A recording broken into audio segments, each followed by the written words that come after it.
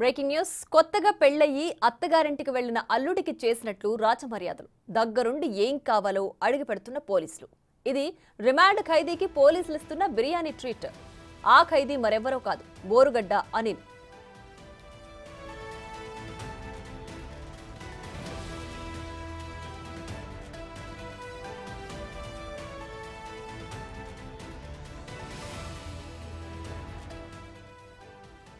బోరుగడ్డ అనిల్కు మంగళగిరి కోర్టులో హాజరుపరిచి రాజమండ్రి సెంట్రల్కు తరలిస్తుండగా మార్గ మధ్యంలో గన్నవరంలోని ఓ రెస్టారెంట్లో విందు భోజనం ఏర్పాటు చేశారు పోలీసులు. అంతేకాదు ఆ తతంగాన్ని వీడియో తీస్తున్న వారితో పోలీసులు దురుసుగా ప్రవర్తించారు. ఫోన్ లాక్కుని వీడియో డిలీట్ చేశారు.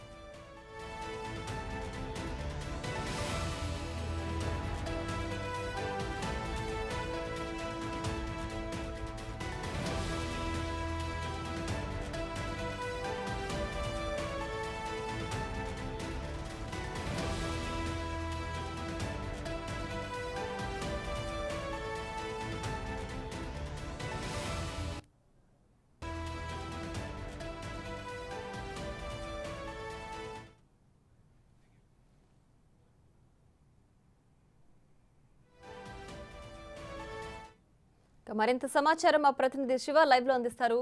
శివ చెప్పండి ఒక ఖైదీని రాచమర్యాదలు చేస్తూ అలాగే దాన్ని చూపించిన సామాన్య జనంతో దురుసుగా ప్రవర్తించడం పోలీసుల వ్యవహార శైలిని ఏ విధంగా అర్థం చేసుకోవాలి? ఇందుకైనా పోలీసులు ఉన్నది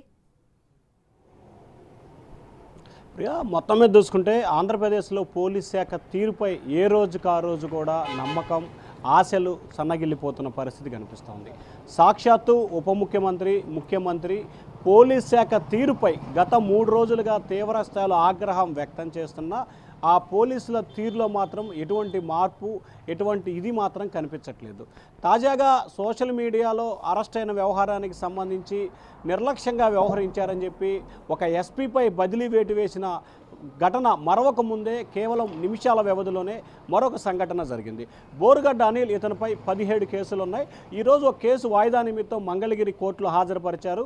పద్నాలుగు రోజుల రిమాండ్కి ఇచ్చారు. ఆయన్ని తిరిగి మంగళగిరి కోర్టు నుంచి రాజమండ్రి తీసుకెళ్ళే మధ్యలో గన్నవరం హైవే పక్కనే మార్గం మధ్యలో ఒక రెస్టారెంట్లో సకల మర్యాదలు ఎవరైతే ఒక రాష్ట్రం నుంచి మరొక రాష్ట్రానికి అతిథిగా వస్తారో లేకపోతే అత్తగారింటికి అల్లుడు వచ్చిన మాదిరిగా ఏఆర్ పోలీసులు దగ్గరుండి మరి రాచ మర్యాదలు ఏది కావాలంటే అది బిర్యానీయా చికెనా మటనా లేకుండా ఒక ఖైదీకి ఎటువంటి సౌకర్యాలు కలిగించకూడదో అన్ని రకాల సౌకర్యాలు కలిగించి పోలీస్ శాఖ తీరుకే మచ్చ తీసుకొచ్చే విధంగా వ్యవహరించారు.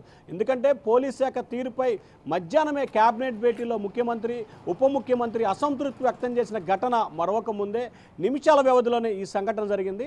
వాస్తవానికి సంబంధించి ఒక నిందితుడికి సంబంధించి రిమాండ్ ఖైదీగా ఉన్నారు ప్రస్తుతం అనిలు. ఆయనకు సంబంధించి అనేకమైన కేసులు ఉన్నాయి.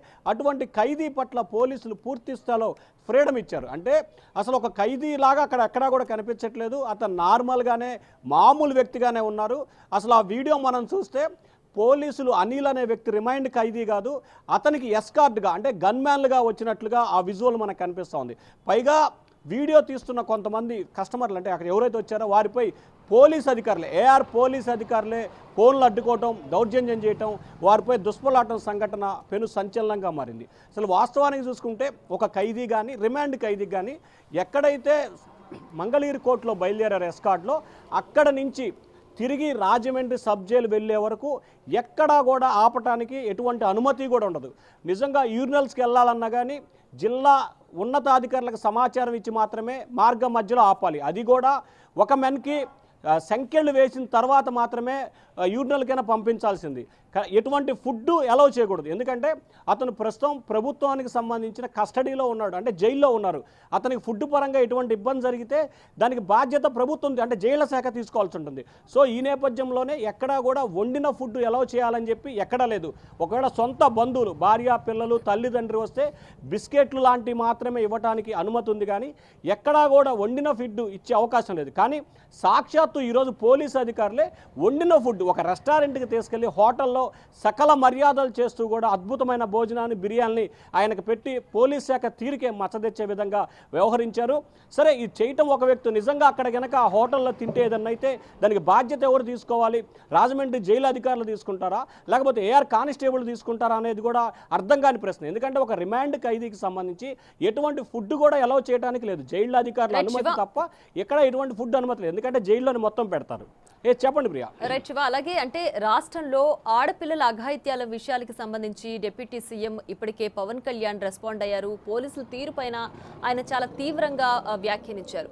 అదేవిధంగా సీఎం చంద్రబాబు కూడా లా అండ్ ఆర్డర్ విషయంలో చాలా సీరియస్గా ఉన్నారు.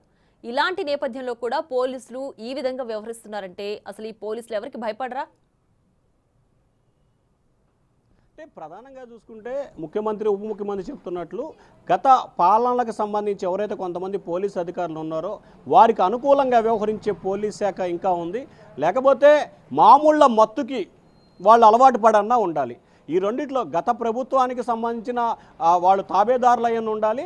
లేకపోతే బోరుగడ్డ అనిలు అనుచరులు ఇచ్చే డబ్బులకి ఈ ఎయిర్ కానిస్టేబుల్ కక్కుర్తిపడైనా ఉండాలి. ఈ రెండిట్లో ఖచ్చితంగా అవినీతికి పాల్పడ్డారా? లేకపోతే గత ప్రభుత్వానికి సంబంధించి అనుకూలంగా ఉన్న వ్యక్తుల అనిల్ పట్ల ప్రేమ అనే దానికి సంబంధించి కూడా విచారణకు ఆదేశించే అవకాశాలు కనిపిస్తున్నాయి. ఎవరైతే సెక్యూరిటీకి వచ్చిన ఈ సిబ్బంది ఉన్నారో వీరందరినీ కూడా ఖచ్చితంగా సస్పెండ్ చేసే అవకాశాలు కూడా కనిపిస్తున్నాయి. ముఖ్యమంత్రి హెచ్చరికలు జారీ చేస్తున్నా కానీ పోలీస్ అధికారులకి భయం కానీ భక్తి కానీ గౌరవం కానీ లేకుండా పోతూ ఇష్టానుసారంగా అసలు వాళ్ళు మేము పోలీసులు అనే అంశాన్ని మర్చిపోయి ఒక ఖైదీకి ఎస్కార్డు వీళ్ళు వచ్చినట్లుంది కదా. ఆ ఎస్కార్డు వచ్చినట్లేదు కానీ వెనకే వాళ్ళు గన్మ్యాన్లుగా వచ్చిన రీతిలో పోలీసులు తీరైతే కనిపిస్తూ ఉంది. దీనిపై ఖచ్చితంగా రాష్ట్ర ప్రభుత్వం సీరియస్గా దృష్టి పెట్టే అవకాశం కనిపిస్తూ ఉంది. ఇప్పటికే ఒక ఎస్పీపై ఒక సీఐపై వేటు వేసిన ఏపీ ప్రభుత్వం తాజాగా ఈ ఘటనకు సంబంధించి వీరందరిపై కూడా చర్యలు తీసుకునే అవకాశం కనిపిస్తూ ఉంది. ఎందుకంటే ఇప్పటికే పోలీస్ శాఖ తీరు పట్ల డీజీపీ కూడా చాలా సీరియస్గా వ్యవహరించారు. మధ్యాహ్నం జరిగిన సంఘటనకు సంబంధించి డిఐజీ స్థాయి అధికారితోనే విచారణకు ప్రభుత్వం ఆదేశించింది కాబట్టి సో ఈ ఘటనకు సంబంధించి కూడా కఠిన చర్యలు తీసుకునే అవకాశం అయితే కనిపిస్తూ ఉంది. కానీ పోలీస్ శాఖ తీరు మాత్రం అంటే ఏఆర్ కానిస్టేబుల్ ఎవరైతే వస్తారో ఎస్కార్డ్గా వారి తీరు మాత్రం తీవ్ర స్థాయిలో అసంతృప్తికరంగా ఉంది. వారు వ్యవహరిస్తున్న తీరు పోలీస్. శాఖ మాయన మచ్చగా ఉంది. ఎందుకంటే ఒక రిమాండ్ ఖైదీని ఈ రకంగా తీసుకెళ్ళడం సరైన విధానం కాదనేది ప్రజలైతే మండిపడతారు విజువల్స్లో కూడా చూస్తున్నాం. ఒక ఖైదీతో పోలీసులు ఎలా వ్యవహరిస్తున్నారో దాని వీడియో తీస్తున్న సామాన్య జనంతో పోలీసులు ఎలా వ్యవహరిస్తున్నారో అనేది కూడా మన విజువల్స్లో క్లియర్గా చూడొచ్చు. సో అంటే అసలు పోలీసులు ప్రజలకి వాళ్ళు సెక్యూరిటీగా ఉండాల్సింది పోయి వాళ్ళనే మళ్ళీ తిరిగి దౌర్జన్యానికి పాల్పడుతూ వాళ్ళ ఫోన్ లాక్కొని వాళ్ళ ఫోన్లో తీసిన వీడియోని డిలీట్ చేయడం అసలు ఇంత దౌర్జన్యంగా ప్రవర్తిస్తున్నారు అంటే ఖచ్చితంగా ఇప్పుడు ఎవరైతే అనిల్ కుమార్ని రిమాండ్కు తరలిస్తున్న వాళ్ళు ఉన్నారో ఆ డ్యూటీలో ఉన్న ఆఫీసర్స్ అందరిపైన చర్యలు పడే అవకాశం ఉందా? అంటే ఖచ్చితంగా. ఎందుకంటే అసలు ఒక రిమాండ్ ఖైదీని ఎక్కడ ఆపటానికి లేదు.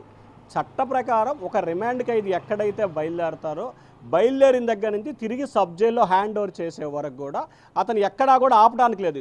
యూరినల్స్కి ఆపాలన్నా కానీ ఖచ్చితంగా ఉన్నతాధికారులు అనుమతి తీసుకోవాలి. అది కూడా ఖైదీకి కానిస్టేబుల్కి ఇద్దరికి కలిపి సంఖ్యలు వేస్తారు. కానీ ఈరోజు ఏకంగా అతను రిమాండ్లో ఉన్న సంగతి ఏఆర్ కానిస్టేబుల్. మర్చిపోయి ఒక ఫ్రీడంగా అత్తారింటికి అల్లుండి పంపించినట్లు తీసుకెళ్ళిన పరిస్థితి అయితే కనిపించా ఉంది. ఖచ్చితంగా ప్రభుత్వం వీరిపై చర్యలు తీసుకునే అవకాశాలు అయితే స్పష్టంగా కనిపిస్తా ఉన్నాయి. Priya. Right Shiva thanks for the updates